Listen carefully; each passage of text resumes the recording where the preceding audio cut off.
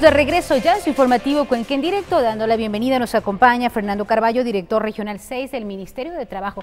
Fernando, buenas tardes, un gusto tenerlo en este espacio para hablar de un tema que, que ha generado sin duda controversia en las últimas horas con el anuncio ayer justamente de esta sanción hacia la prefectura de la SUAY por eh, no pago a los empleados, que es lo que ha manifestado el Ministerio. Bienvenido. Se habla de que esta sanción podría ser una represalia política contra eh, la, la, prefectura provincial. Muchas gracias. Eh, sí, en efecto, el día de ayer el Ministerio del Trabajo eh, y directamente la Dirección Regional de Trabajo de, y Servicio Público de Cuenca realizó un, una notificación con una sanción que es la máxima sanción uh -huh. por incumplimiento al pago de los salarios a los trabajadores del Consejo eh, Provincial. Sin embargo, bueno, ha querido bueno, esta situación manifestarse en el hecho de que es algún tema de retaliación política, de ninguna manera. Pues el Ministerio de Trabajo como órgano rector del, de, del trabajo precisamente es el que se encarga de velar por los intereses de los trabajadores. Tenemos que conocer todos que el, el, los derechos de los trabajadores son completamente irrenunciables. Esto no ha sido de manera de oficio, sino más bien uh -huh. por las quejas múltiples que hemos recibido tanto en la dirección regional cuanto en la en el Ministerio del Trabajo en la ciudad de Quito, eh, constantes eh, quejas sobre que no ha sido cancelada la remuneración de marzo. Esta, esta, denuncia se ha hecho desde el mes de marzo, precisamente es marzo y abril los meses que, que competen, dado que, que la, eh, la, Dirección Financiera de la Prefectura habría pues entregado roles que marzo se habría cancelado. Ya, ¿cuál está la situación Correcto. en el momento? El asunto es que un funcionario del, ministerio, de la, del Consejo Provincial, precisamente tengo un documento que si me permiten indicar, es uh -huh. la ingeniera Cecilia Vázquez, directora de Talento Humano, manifiesta, manifiesta, sí, claro que acá, sí, manifiesta en el documento que las asignaciones, están esperando asignaciones de finanzas, pero para el mes de abril. Tenemos que entender que el mes de abril todavía no concluye. Uh -huh. Eso quiere decir que la asignación de marzo está hecha, está hecha la asignación de marzo. Ahora, nosotros el día de hoy tuvimos una ingrata sorpresa y, y, y visita uh -huh. por parte de funcionarios del Ministerio, eh, perdón, del, del GAD provincial, del Consejo Provincial, eh, a los, eh, en las instalaciones de nuestra dirección uh -huh. regional, en la, la, en la parte de afuera, protestando, manifestando, pusieron una mesa, hicieron conocer a todas las personas que estaban inconformes con esta situación, con esta uh -huh. medida. Más sin embargo, nos han presentado una documentación que es un recurso, ¿no? un recurso de reposición recurso. en el que manifiestan la inconformidad de ello. No me puedo pronunciar al respecto, puesto que eso es un hecho de que tenemos que analizar jurídicamente uh -huh. y daremos la respuesta. Más sin embargo, la, la, la sanción se mantiene porque es un hecho de que ya fue presentado fue presentado por parte de nosotros y en el que nosotros mismos, analizando jurídicamente, uh -huh. justificamos y obviamente, repito, por las múltiples personas, trabajadores del, del Consejo Provincial que uh -huh. hicieron manifiesto de esta inconformidad. Por ¿De cuántos no casos se hablan de denuncia? Fernando? A ver, nosotros tenemos, eh, no tengo el número exacto Correcto. de cuántas personas, pero, pero, es un número es, considerable ya. de personas y obviamente, ojo, tenemos que considerar esto particular muy claramente. Puede ser de una sola persona Así como es. empleado, se está vulnerando un derecho, uh -huh. toda vez que sabemos que los derechos de los trabajadores son completamente irrenunciables y por lo tanto el Ministerio de Trabajo está para velar ese tipo uh -huh. de, de, de, intereses para, en beneficio de los trabajadores. ¿Qué pasa con las transferencias del gobierno central? Eh, y muchas veces se ha conversado previo a esto a las elecciones también y más allá de, del tema electoral se ha hablado de que las transferencias del gobierno central hacia eh, los gobiernos, los GATS parroquiales, los GATS provinciales y, los gobiernos locales es bastante lenta. Sí, muchas veces se ha hablado hasta que se cierra un poco el grifo para quienes no están eh, muy de acuerdo con la, con la parte política o pues el pensar y eh, del, del régimen, hablando así. ¿Esto se ha dado anteriores ocasiones? ¿El Ministerio de Trabajo en esta situación Obviamente no. Pero no, por supuesto, no eh, el Ministerio de Trabajo siempre está, repito, velando por el tema de los intereses de los trabajadores. Más sin embargo, asimismo me permito manifestar uh -huh. una documentación en la que es, en la que manifiesta transferencias y pagos al GAT provincial de la SUAY. Es de enero a abril. ¿No es cierto? Y en la parte última dice transferencia no pendientes del GAT provincial de la SUAY. O sea, ¿ya han sido realizadas las transferencias del las gobierno transferencias central? del GAT, de, eh, perdón, de las transferencias de abril están por llegar, pero obviamente si se entiende que está para llegar al mes de abril, uh -huh. presumimos obviamente que ya está la transferencia del mes de marzo. ¿No? Es, es, bastante claro, realmente es un tema de que no, no, no, tenemos por dónde desviar la atención porque es clarísimo la situación. voy a invitarle a usted, a nuestros televidentes, tenemos justamente la parte, la contraparte también, pues eh, como sabemos, el Ministerio de Trabajo, por medio de su Dirección Regional 6, eh, la tarde de ayer sancionó a la Prefectura de la SOE por no cumplir con el pago de remuneraciones de sus servidores. La entidad recibió una multa que supera el eh, millón de dólares. Vamos a, a ver esta información y continuamos con la entrevista. Le invitamos. A ver. La Dirección Regional 6 del Ministerio de Trabajo sancionó a la prefectura de Azuay con 20 salarios mínimos unificados por incumplimiento laboral con sus empleados. Existe una concurrencia de infracciones, esto de acuerdo al artículo 632 del Código de Trabajo, en la que obviamente es el incumplimiento de las remuneraciones del mes de marzo y también los fondos de reserva del mes de marzo la medida se cumple luego de que un grupo de trabajadores presentara una denuncia en contra del gobierno provincial. Afectados afirmaron que la remuneración correspondiente a marzo aún no les fue cancelada. La sanción eh, se encuentra debidamente motivada en la resolución. Eh, se basa en el número de trabajadores que tiene la, que tiene la institución, en el tamaño de la institución y en concordancia con la gravedad de la del hecho que está sancionando y en la concurrencia de las infracciones. La entidad pública presentó los recursos que descartarían la deuda. Sin embargo, según el directivo, estos carecen de ciertos aspectos legales. Los roles del mes de marzo de 2017 no están debidamente firmados por los trabajadores. Eso implica obviamente que no tiene la validez suficiente para poder justificar de la manera que la están haciendo.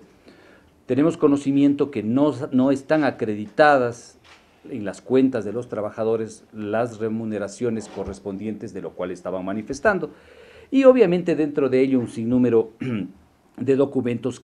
La prefectura de Azuay da empleo a aproximadamente 230 personas. Por tanto, la sanción supera el millón de dólares. El organismo puede apelar. Tiene 48 horas para hacerlo. Liliana Llanes, Unción Televisión. De esa manera se procedió. También tenemos la contraparte de la Prefectura de la SOE que rechaza la medida del Ministerio de Trabajo. Estábamos dialogando sobre, sobre el tema de los, de los roles. El momento que se apela se demostró, se, se entregaron roles de pago con las firmas de los empleados que habrían recibido ya sus remuneraciones. A ver, dentro de la, de la, documentación solicitada por parte de nosotros como dirección regional, dentro de varios requisitos solicitados, se pidió que se presenten los roles de pago. Obviamente el Consejo Provincial presenta, pero presentan roles de pago sin las firmas de los trabajadores. Significa que eso no tiene plena validez, en lo absoluto, no tiene validez para nada porque obviamente no está. Nosotros hemos dicho las investigaciones del caso, no tienen las asignaciones en las cuentas de los trabajadores, no tienen eh, depositadas las cuentas de los trabajadores. Pero eh, ya están hechas las transferencias también de gobiernos centrales, ¿eso ya es un hecho? ¿Está ya confirmado? Por supuesto, como le había manifestado en el tema de, finanzas, la transferencia del mes de marzo está asignada.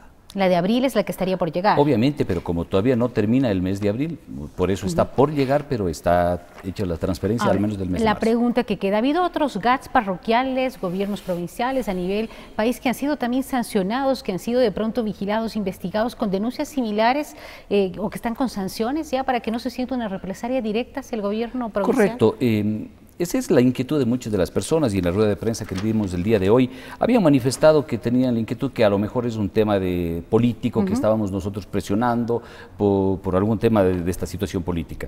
Tengo otra documentación de los GATS sancionados por varios incumplimientos. Tenemos una lista Podemos mostrar, por favor, en pantalla, perdón, la que si me permite acá. Han sido ya debidamente sancionados, han pagado las multas que corresponden, precisamente por este tipo de incumplimientos y ¿Esto por ha sido durante este año 2017? Sí, sí, sí, por supuesto. E incluso tenemos de años anteriores también. Ya. Tenemos varios ¿Y por situaciones similares de pago a empleados? Situaciones similares de pago a trabajadores y algunos otros incumplimientos en, en vulneración de los derechos de los trabajadores. Esto es lo que se está dando. Voy, voy, a invitarle también, le decíamos, vamos a ver la contraparte, si precisamente en este tema empleados y directivos también de la Prefectura de la SOA realizaron una marcha, como usted nos comentaba hace breves instantes, que llegó a las instalaciones y exteriores de la Dirección Regional 6 del Ministerio de Trabajo. Luego realizaron una rueda de prensa en rechazo a la decisión que incluye las multas de la entidad pública Nuestra compañera Liliana Llanes nos tiene este detalle. Adelante Lili, buenas tardes y regresamos luego con la entrevista.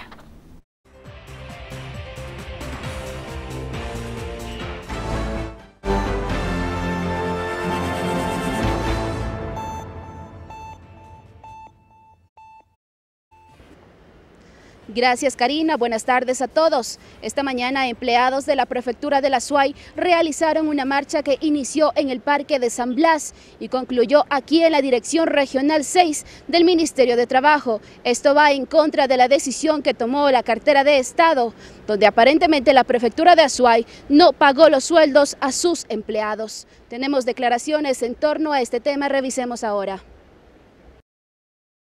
Si tenemos 61 millones de dólares que contábamos en nuestra planificación y que el mismo gobierno central no nos transfiere los recursos, ¿cómo es que vamos a poder pagar los sueldos?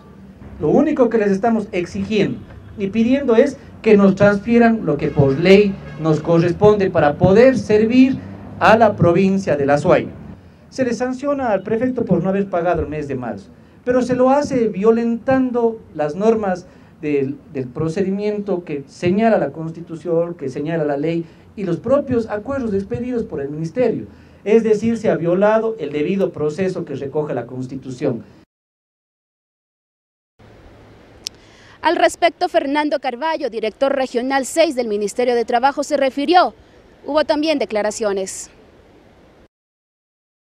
Me acaba de informar que han presentado un recurso por parte de la prefectura, que obviamente no nos podemos pronunciar en ningún sentido hasta nosotros poder tener la, verificación total de cuáles son las pretensiones en las que solicitan este recurso.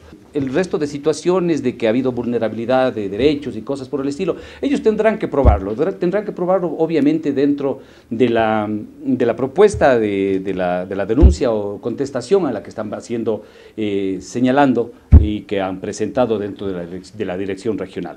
Pues realmente nosotros estamos a la espera de que los justificativos sean correctos y nosotros nos tendremos que pronunciar en el debido momento y en forma eh, con el derecho, obviamente, que nos asiste. El gobierno provincial apeló a la decisión tomada por la cartera de Estado. Se conocerá las novedades en los próximos días. Es el informe que tenemos hasta el momento, compañeros. Regresamos con ustedes. Buenas tardes.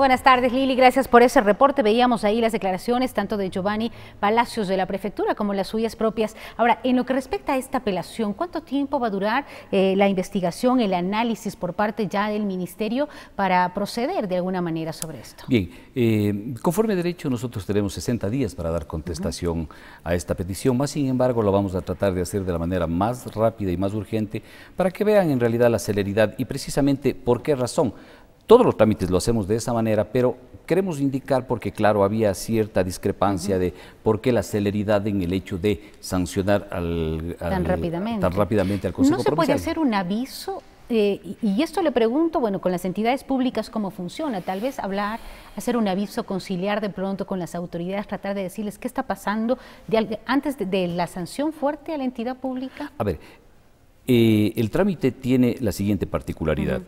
Cuando nosotros recibimos, recibimos la denuncia o de oficio conocemos que existe algún tipo de irregularidad, lo que hace es un inspector del trabajo visitar a la misma y solicitar toda la información correspondiente para que justifique. Y de hecho, la prefectura de Los Lozoy presentó la documentación. Presentó documentación, pero claro, como le dije, por ejemplo, entre, entre, entre varios documentos, eh, certificado de los roles de pago de los trabajadores, pero los roles de pago no estaban firmados, por lo tanto no tiene validez absoluta. ¿no? Entonces, en aras de esa situación, nosotros tuvimos que proceder conforme a derecho a la notificación de la sanción. Que Estamos ya por terminar en revista, Fernando, queremos agradecerle ante todo, pero la, que la sanción hasta que eh, se dé pues el análisis de parte del Ministerio, la sanción va, procede. Por supuesto, es, un incumplimiento eh, que, que la prefectura de la Tuvo hacia los trabajadores de ellos y obviamente, repito, como órgano rector de los trabajadores del ministerio, el Ministerio de Trabajo como órgano rector, es velar, precautelar por los intereses obvios de los, de, los trabajadores y es por lo que nosotros estamos velando. De hecho, eh, obviamente hoy tuvimos una visita que realmente nos llamó la atención y consideramos un show mediático porque de la misma manera que nosotros dimos una rueda de prensa en, los, la, parte interna de, nuestra institución, lo podrían haber hecho de la misma manera. Nos pareció un poco de desatino, pero obviamente respetable desde todo punto de vista. Muchísimas gracias. Los criterios de Fernando Carballo, director regional 6 del Ministerio de Trabajo, con el caso que se dio justamente el día de ayer con la sanción a la prefectura de la SOA. Dice, se estará analizando la... Eh, eh, la situación o el recurso impuesto por parte de la prefectura y estaremos dándoles también detalles. Nosotros siempre abiertos como canal objetivo e imparcial que somos a que también la contraparte de la prefectura de la SOA y en nombre de su señor prefecto o los delegados encargados puedan estar también en este espacio para dar sus puntos de vista. Venimos en breve con más de Cuenca en directo.